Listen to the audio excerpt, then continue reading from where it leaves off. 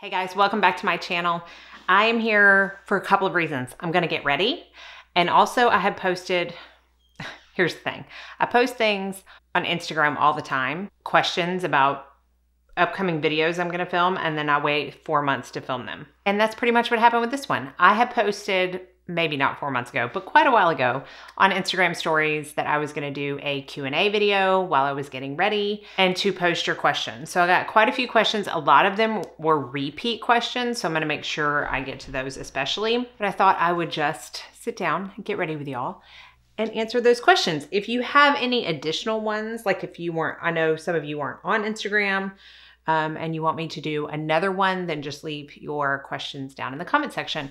I am wearing the Beauty of Joseon SPF, which has no coverage whatsoever. So we're working with my typical redness that I have when I wake up in the morning and we'll just get started. If I don't mention the product that I'm using, I will have everything listed and linked below per usual. I feel like I should probably start off at the beginning per se. And this is a question I got asked a lot. It was definitely a repeat question. And it kind of, well, a couple of them, but they kind of go hand in hand. And basically, it was where did I train to be a makeup artist? How did I get into makeup artistry? Has it always been part of my career? Am I a full time makeup artist? So I'm going to kind of answer all of that together. And I know that if you've been watching me for any amount of time for a few years, you've likely heard this story before but I'm going to start anyways. No, this has not always been my career. I've currently been doing this for about eight years now. As far as makeup artistry goes, I own my own freelance business. So I don't work out of any kind of salon or anything like that. It's just my own business. You either come to me or I come to you. I have my undergrad in communications and then I have my master's in education. And I was, I, you know, I worked at a school. I was in administration for preschool. I had a lot of different jobs within the educational sphere of things. And then I have always been someone who loved product, hence my YouTube channel. Always, always been a love of mine. And my friends knew this. And a friend of mine, a good friend of mine, was getting married. She was having a destination wedding down in Florida and I was going to be there. She knew that I had all of the products anyways. And she was like, Look, you're going to be there anyways. Why don't you just like bring a little bit of extra stuff down and do my makeup? And that way I don't have to worry about finding someone in a different state. I'm not going to have time to get a trial done. And I was like, Well, I mean, I'm not exactly well versed on doing makeup on other people, but okay, you know, like any excuse to pack some extra makeup, right? So I did. We actually drove. So I took this big old train case worth of makeup with me. And I did her makeup. I did her mom's makeup, truly not thinking anything of it. And then I left there and I thought to myself, this is what I want to do with the rest of my life. That's it. This is it. That I want to do this. I loved every minute of it. I loved the wedding aspect of it, which is why I'm predominantly bridal now. I loved everything about it. And so I went back to, you know, my everyday life, working. And then I started really researching like schools and where I could go. I didn't want to go to cosmetology school because I knew that hair was not my thing. wasn't what I was interested in or passionate about. But I found a school that's just for makeup in Nashville. And I looked into it. And I remember, I mean, I remember this like it was yesterday. Chad was out cutting the grass. And I went out to him and I made him stop what he was doing. And I said, So I found this school that's just makeup. I think I'm going to quit my job and go back and do that full time. Now, if y'all are not aware, Chad is an entrepreneur. He has been in medical sales for goodness, 14, 15 years now, but he is still an entrepreneur at heart. And I was very lucky for that because he was like, okay, literally, that's what he said. Okay. So that's what I did. I went back to school for makeup and I have been doing that ever since. So, no, it's not always been my career, but I envision some aspect of beauty will be in my career until I retire because I absolutely adore it. Here's one, and it kind of flows off that topic of Chad being an entrepreneur. He is and I'm not just saying this because I'm his wife, okay? I tell people all the time if I didn't love him so much, I'd hate him because he's truly good at every single thing he does. But he is a really talented photographer and videographer. And someone asked if he sells his photographs because I do repost often um, his photos on my stories, especially. And he does sell his photographs. He doesn't sell all of them. At least he doesn't have them all listed. He has an Etsy page. I will link it down below. But if you see one, like if I post one or something and you're like, oh, I really am interested in that, just message me or you can message him and we can fix you up. So thank you to whoever asked that. Okay, here's another repeat question. I know I've touched on this in the past, but I haven't really elaborated on it. And there was quite a few questions on whether or not I'm still working for Jane Iredale. So this time last year or around May, I took a job as a sales rep for Jane Iredale and made like an announcement video about it and really like I, I just really thought that that was like the next step right? Because i thought to myself i knew that i was going to be in beauty in my career some way somehow and i just thought it was like a next logical step for me. So i did that. I did it for four or five months and the company is fantastic. The people are fantastic. The position just was not for me. It took a lot of my time. I was traveling a lot.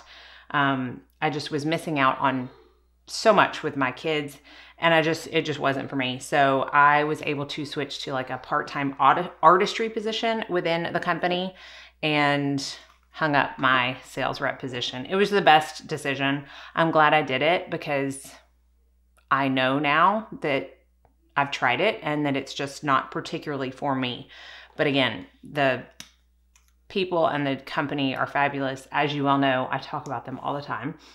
And that kind of leads me into another question I got, which was I could only pick one makeup brand to own products from and use for the rest of my life. What would it be?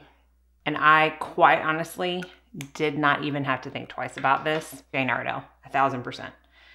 If you have not seen any of my videos where I truly rave over their products, search my channel for Jane Iredale and you'll see. They make stellar products. And honestly, I mean, there's a couple things. There's not one single brand that I can say I love absolutely everything that brand makes. It's just not something I've ever found to be true and likely never will. But Jane comes really, really close. I trust their products so much, I use them in my kit they just work for me. So if I had to, it would be very, very sad. I mean, first world problems, completely aware. It would be very sad if I had to give up all of my other brands that I have and love. But if I had to, it would definitely be Jane. Also, because they just have such a, an array, like a wide selection of products that I honestly would have multiple things to choose from in every category, which is important in picking just one brand? I love this next question because I would love to know this about people too. And I feel like it's just fun. Somebody asked what my go to Starbucks drink is. And I am one of those people who definitely is a creature of habit. So I do have a go to drink and I rarely ever stray from it. I love like the seasonal drinks they have, the not good for you full of sugar drinks that they have. But I typically let like my kids or Chad order that and just have a sip of it. But my personal go to drink is a venti because I like coffee. Almond milk cappuccino with sugar free vanilla syrup. That's just my go to. Extra hot. Can't forget the extra hot part because I am not a cold coffee drinker. I'm just not. I can't, like, if that's the only option, which I don't think there's ever been a time in my life where it was only optional or the only option was to drink cold coffee. But if it was, I would.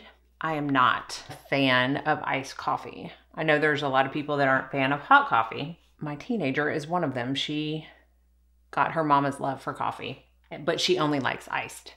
So whenever I order I always order extra hot. I love this question so much. How's my dog doing? Oh, I love that y'all love my dog as much as I do. My dog is Zeus, if you don't know, and he is an English Mastiff. He is the absolute love of our life. He is, oh goodness gracious. I was going to say he's four and a half, but he's honestly closer to five. Fabulous. Um, we did find out last year that he has some kind of autoimmune disorder. We don't exactly know what. Um, so he does have to be on a very, very, very low dose of prednisone, probably for the rest of his life, to keep kind of the symptoms of that. But honestly, it's like super low dose, especially for his size. He's 180 pounds. But other than that, he's fabulous. He's the best guard dog in the world. He's the sweetest person in the world. He loves company. He loves it when people come over to our house. He's social and he's very loving as long as Chad or I or the girls invite you in. If we're not inviting for you to come in, he is not inviting you to come in. but if we like say, "Oh, hi, hi, how you doing? Hey, Zeus, look who it is," then he's fine. Um, but he has to have that kind of okay and go ahead from us, which I think is pretty normal for a lot of dogs, but he's he's just fabulous. And we've been out at our house we built 2 years ago. We've been out here 2 years today. The day I'm filming this is our 2-year anniversary of moving into this house and I think the FedEx and the UPS guys are just now getting used to him. He's quite the character, but he is oh so amazing. And the only bad thing about Mastiffs, this is my second, Chad's third, is that their life expectancy is just not as much as a normal dog. But we are taking advantage of every single day that we have him and love him so much. Somebody asked what my t- favorite type of facial is. And I think that is kind of a loaded question for me because it really depends on the results I'm wanting and how I'm feeling. For example, if I want like a treatment facial, I love a hydrofacial. Love it. I get them often. If I want something more relaxing, then I'll go get something like a spa facial, which I haven't had in a really long time. There is a spa here that does in Nashville that does um, Biologique Recherche, which I've never used their products, but you know, my girl Abby does, and she posted that picture of her getting that facial, and I'm like, oh, that looks so comforting and just relaxing. So I may end up going and getting one of those. But as far as like a treatment facial, definitely hydrofacial. And that goes into the next question, which is so funny because someone asked, Who's your favorite esthetician? And it was my esthetician who asked that. So, Amber, if you're watching, girl, you know it's you. It is rare for anyone else to touch my skin. So, if she heard me say that I'm thinking about going to get a, a Biologique Recherche facial, she's probably going to text me any minute and tell me what am I thinking? But if you are in the Nashville area, definitely check Amber out. I've talked about her a lot. She's been on my channel. She's awesome. We are college friends, and she has taken care of my skin for the past 20 plus years. Someone asked what my favorite eyeshadow look is. And I've never really thought about this before, but I would if I'm thinking about like the kind of look that I go to the most, it is very straightforward. It is a crease color, typically something warm because I tend to gravitate towards colors with warmer undertones.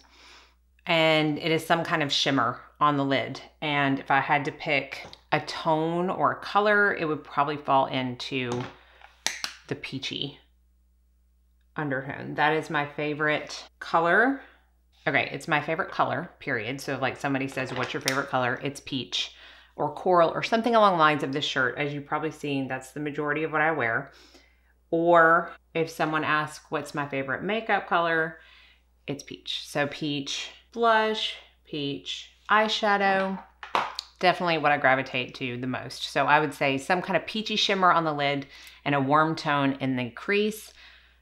Put the little warm tone under my eye and I'm good to go. That is my go-to look. Like if I could only do one look for the rest of the time, that would be it. See what I mean by guard dog? But then he would just sniff you to death if you came in.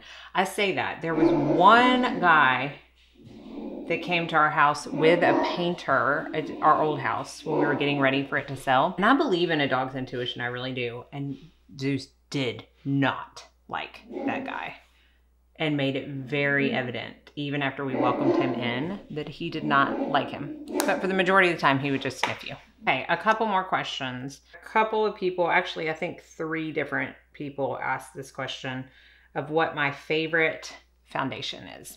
Actually, one was, what foundation do you reach for the most? And then one was, what's your favorite foundation? And actually, the answer is different.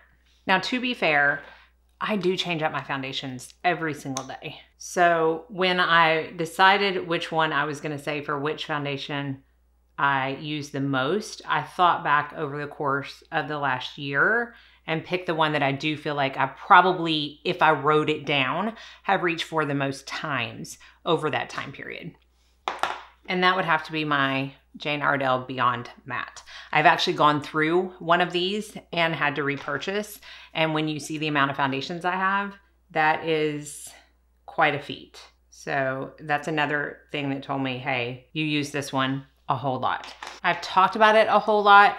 I'm going to do an updated review on it because I am still in the middle of my Jane Iredale Foundation review series. And I think that one's going to be the one I do next. But it is something that can be a little misleading in its name because I don't find it to be super matte at all. I feel like it is more of a natural finish, not too dewy, not too matte, but it is extremely long wearing. I do have multiple colors of it in my kit. I feel like it looks great under both of the Jane Iredale powder foundations but my favorite combination is the Beyond Matte with the Amazing Base loose powder on top.